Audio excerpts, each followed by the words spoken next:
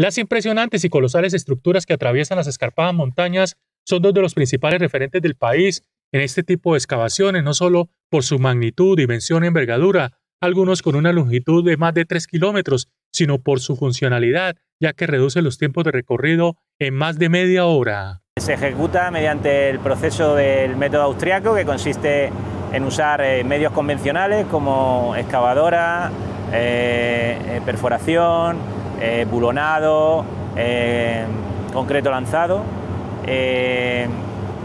se va identificando una serie de secciones, desde más liviana en suelo a más fuerte en, roca. Un megaproyecto vial para garantizar la conectividad y competitividad de Santander y particularmente la comunicación terrestre entre el puerto petrolero y el área metropolitana de Bucaramanga.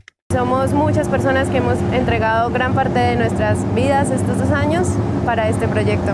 Entonces es un motivo de orgullo, de satisfacción, de, felicidad y para el proyecto es eh, como un paso súper grande, es uno de, de los ítems más importantes de la obra general. Cerca de un billón de pesos se invierten en esta obra 4G para impactar la infraestructura vial de Santander.